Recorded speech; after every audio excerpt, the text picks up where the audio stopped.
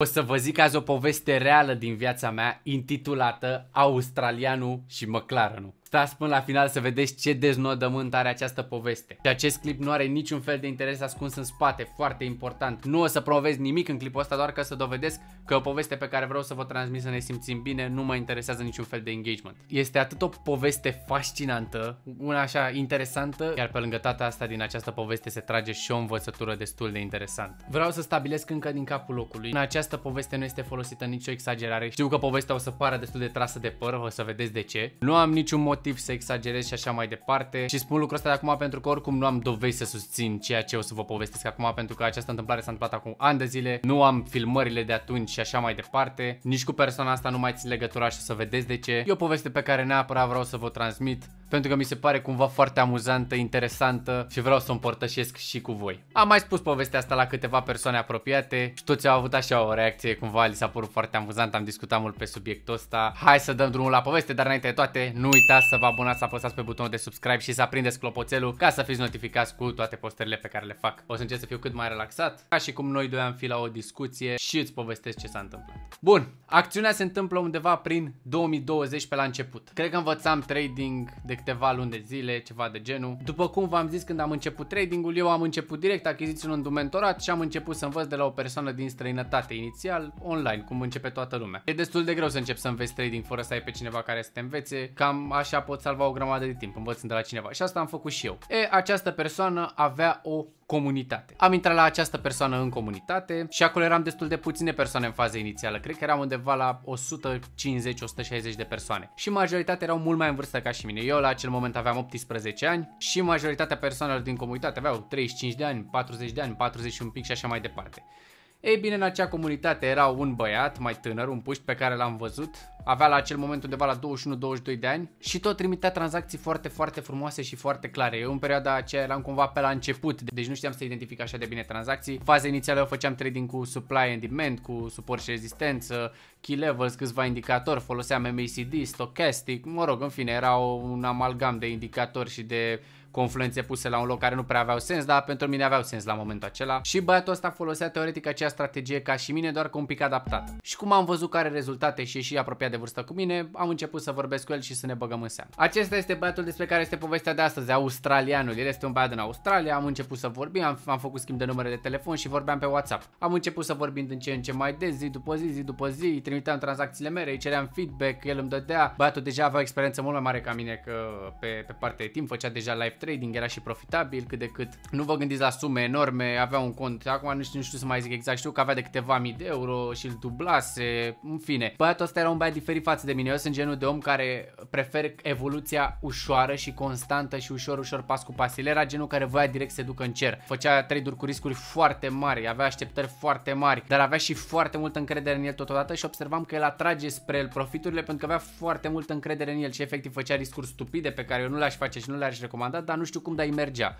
Adică îi pur și simplu chiar era profitabil și avea rezultate bune. El este totodată persoana care m-a băgat în toată treaba cu finanțările. Era a fost primul om pe care l-am văzut să iau finanțare. A fost finanțat la FTMO efectiv printre primii oameni și opțiunse inițial un cont de 40.000 și știu că între timp când eram și în aplicare de finanțare etc. mai opțiunse încă un cont de 100.000 și după încă un cont de 100.000. Le obținea destul de stupid, nu era foarte constant, adică intra, băga câteva trade-uri mari de tot și se nimereau să iasă și uite așa făcea contul. Eu consider că a avut și un pic de noroc acum cu experiența acum. În trecut eu chiar credeam că e foarte bun, dar acum mă uit în trecut îmi dau seama că a fost acolo și un pic de șansă și noroc, pentru că prea, prea ieșeau trade-urile alea senzaționale. În fine, ce e interesant e că el oricum nu avea nimic de vândut, adică prin toate acele rezultate și ce îmi trimitea mie, nu-mi vindea nimic, că nu i-am dat niciodată bani sau mai cer niciodată bani pe nimic și așa mai departe, ce deci nu avea ceva de vândut. Pur și simplu, na, eram noi doi, îmi trimitea rezultatele, dar ideea e că nu prea îmi trimitea pierderi. El trimitea doar câștiguri și cumva mi-a impus gândirea asta în minte că, băi, există posibilitatea să fii profitabil în continuu, fără să ai pierderi și așa mai departe. Eu chiar credeam chestia asta, dar și în momentul de față, sigur că îmi trimitea doar câștigurile și nu îmi trimitea și pierderi. Între timp am intrat în comunitatea asta, încă câțiva băieți mai tineri și ne-am făcut un grup de WhatsApp. Era un grup de WhatsApp de 5 persoane, eu, australianul și ceilalți trei prieteni prieteni, mă rog, prieteni, cunoștințe, ne cunoscusem acolo, era unul din Olanda, unul nu mai știu de pe Riga, în fine, erau din țări diferite. Și noi acolo zilnic dimineața ne trimiteam idei de tranzacții, poze cu ce tranzacții luam, pur și simplu cumva comunicam. Păi australianul ăsta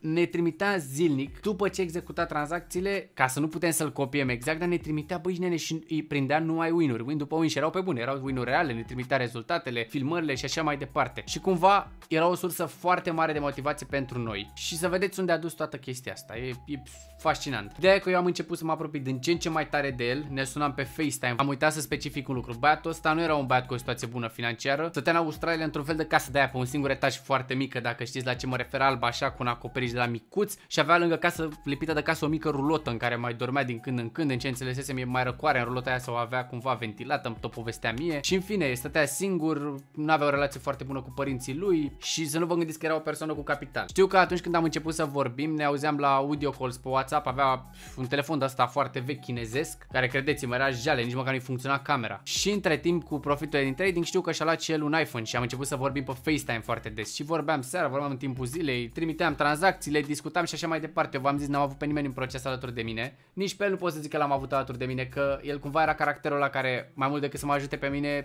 cumva îmi trimitea totul ca să se valideze pe el și să îl venereze cineva, să zic așa. Dar cumva m-a motivat. Perioada aia n-a fost o perioadă foarte lungă în care am ținut legătura cu el și eram oricum destul de la început, dar în fine. Pe ideea e că el începuse să aibă profituri din ce în ce mai bune și începuse să fie din ce în ce mai arogant. Începuse să ne dea lecții tuturor din grup. Noi toți ne apucasem mult mai târziu de trading, eram începători, el v-am zis avea ceva experiență. Și tot trimitea acolo câștiguri, ne corecta pe fiecare în parte și ne făcea să ne simțim inferior pentru că el avea rezultate foarte, foarte bune băi, și noi nu aveam rezultate cum avea el, deci el trimitea win după win, win după win și noi nu aveam și vă dați seama că ne frustram că nu, nu reușeam să avem. Acum eu nu știu sigur dacă el chiar avea win după win sau nu trimitea luzurile, eu cred totuși că nu trimitea luzurile, dar în orice caz băiatul era profitabil și avea experiență experiență. Și ne apropiem ușor, ușor de partea interesantă a poveștii. Vreau să rețineți un lucru înainte să încep partea asta. Faptul că băiatul ăsta era foarte activ pe grupul ăla de WhatsApp, deci ne dispera. Stătea de dimineața până seara, făcea doar trading, se trezea la ora, să zicem, dau un exemplu, 8 dimineața, făcea trading până seara la 8, se culca 2 ore, la 10 reintra pe grafice, stătea până la 2 dimineața, se mai culca 2 ore, iar trading. Deci doar asta făcea, nu ieșea din casă, nu făcea absolut nimic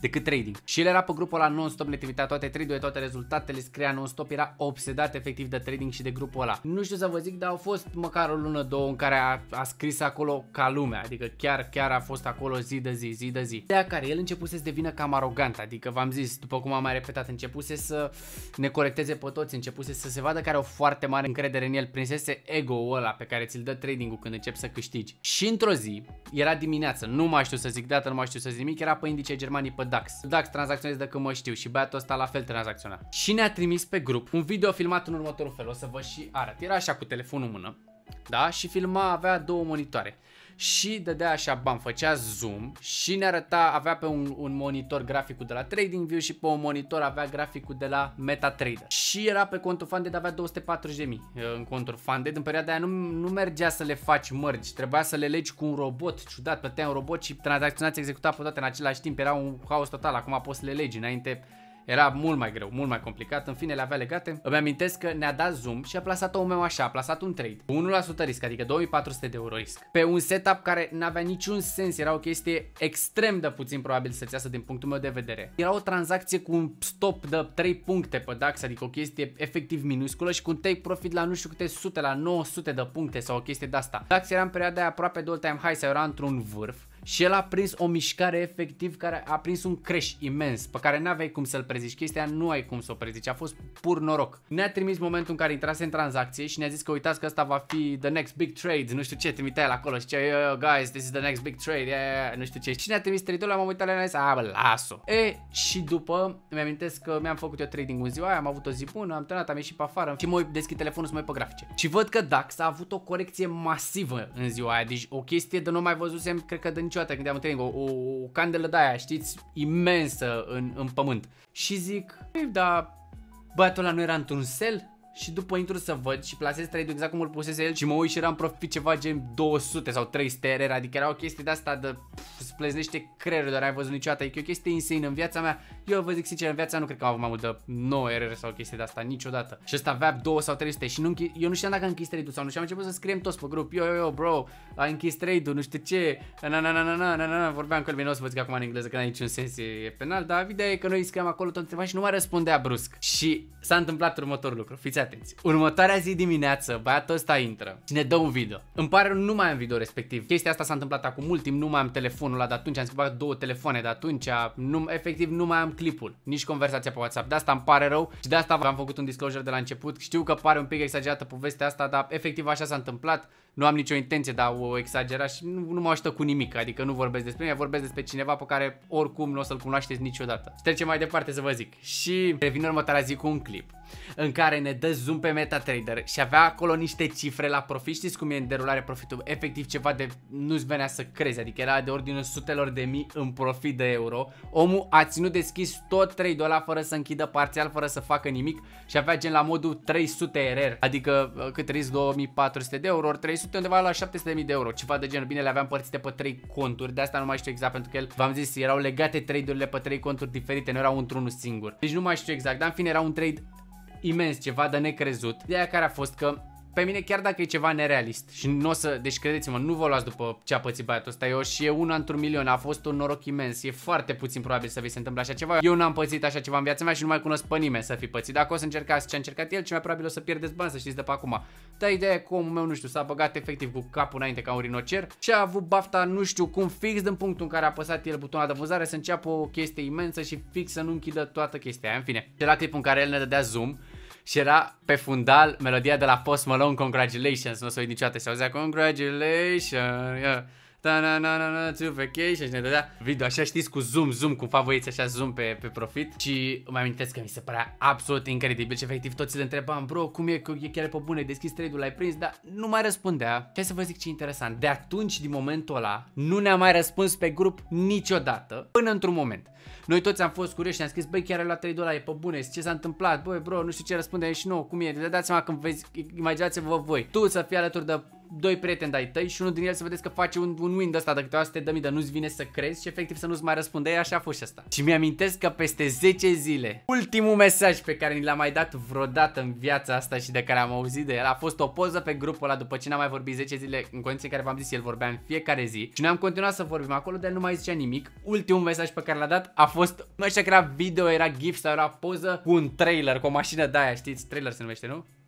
Da. Și pe el era un McLaren. Deci omul meu a făcut profit de trading și a luat McLaren de bani de profit. Bine, un McLaren SH, nu știu câte, 100 și ceva de mii de euro și probabil a făcut vreo 700 de mii, nu știu ce taxe au acolo. În fine, oricum nu cred că și-a dat toți banii, că nu cred că era așa tâmpit. Dar în fine, omul ne-a dat un video cum i-a venit McLarenul de la el de acasă. Este o experiență pe care n-am mai trăit-o niciodată și e foarte puțin probabil să se întâmple așa ceva. Fun fact este că de atunci n-am mai auzit niciodată de el în viața asta. Niciodată. Nu știu ce s-a întâmplat cu el. N-am mai fost activ niciodată pe WhatsApp. Nu mi-a mai răspuns la niciun mesaj niciodată. Pe Instagram posta zilnic, n-am mai postat niciodată de atunci. Are contul la fel și acum n-am mai postat nimic. Nu mai ai cum să dai de el nicăieri. L-am sunat, am făcut. Nu mai omul a dispărut. Și de atunci, deci asta în 2020, de când s-a întâmplat chestia asta, ceva de genul, nu știu, nu știu, cred că Cred că era 2021 în perioada de început. În fine, în perioada aia 2020-2021 n-am auzit nimic de el, n-am mai vorbit niciodată. Nu știu nimic. Habar n-am ce s-a întâmplat cu el. Nu știu dacă, Doamne ferește, a făcut vreun accident cu măclarul la cine știe ce o fi făcut. O fi fugit în vacanță în Bali, cum fac toți traderii cu banii. Nu știu, habar n-am ce a făcut, dar n-am auzit de el niciodată atunci. Și mie mi se pare o poveste senzațională. Aust, cum sună? Australianul și McLaren. Deci este, este fabulos. Și am vrut să împărtășesc și cu voi. Am vrut să avem o poveste asta relaxantă în care vă zic o experiență pe care am trecut-o în perioada în care l-am la început. Repet, chestia asta nu mi se pare că e ceva realizabil. Nu încercați să vă puneți atât de mare risc pentru un câștig asta rapid. Vă garantez că băiatul ăsta dacă cumva să zicem că continua cu trading-ul și o continua maniera asta, pe termen lung ar fi pierdut bani, pentru că știți cum e, când dai un tun de ăsta, pe cât de repede faci banii, pe atât de repede și pierzi, fa pentru care și-a băgat bani într-o mașină de genul ăla. Eu personal, dacă ar fi să fac random așa un câștig de asta peste noapte, niciodată nu mi-aș lua o mașină. Ce aș face? Aș investi banii aia, aș împărți în câteva active, i-aș mai investi în tot de zonă, aș face portofolii cu ei și ok, o mică parte acolo și ți o mașină care înseamnă nimic față de suma aia că la mașină ai de plătit întreținere, ai costuri, de ce să-ți faci cheltuieli când încă nu ai venituri suficiente? Ai timp o viață să-ți iei mașini mai încolo, momentan trebuie să construim și să clădim o fundație cât mai bună pentru situația noastră financiară. Cam asta a fost povestea, nici măcar nu o să promovez ceva în clipul ăsta, deci nu vorbesc, nu promovăm nimic, nici produs de al meu, nici nimic. A fost o poveste pur și simplu așa, eu cu voi, să-mi lăsați feedback, să-mi spuneți dacă v-a plăcut uh, povestea asta. Ca o concluzie, băi, experiența asta, eu am fost acolo și am văzut-o toată. Știu 100% că a fost reală și pe mine m-a motivat foarte tare, sincer. Adică eu mereu iau lucrurile pozitive din orice experiență. Niciodată nu văd părți negative. Eu încerc mereu să văd părțile pozitive. Și chestia asta pentru mine chiar contează. Și ce am văzut eu pozitiv din toată povestea asta e, băi, băiatul ăsta a reușit să facă atât de mult, indiferent că a avut noroc că n-a avut, băi, vreau și eu să fac. Am văzut mașini, am văzut aia, am văzut aia, vreau și eu să fac. Și experiența asta și rezultatele lui chiar m-au ajutat foarte mult pe partea de mindset și de motivație. Sper să vă ajute și pe voi povestea asta cu ceva. Cam asta ar fi story time-ul. Nu lăsați părerea voastră în comentarii, idei de alte vloguri și să-mi spuneți dacă vreți să mai fac story time-uri de acest gen. Mai am multe chestii astea interesante pe care le-am văzut în viața mea și aș putea să le povestesc cu voi. Desigur dacă vă ajută cu ceva și sunt interesante. Cam asta a fost clipul. Vă mulțumesc pentru atenția acordată și ne auzim în continuare. Vă salut, pa, pa!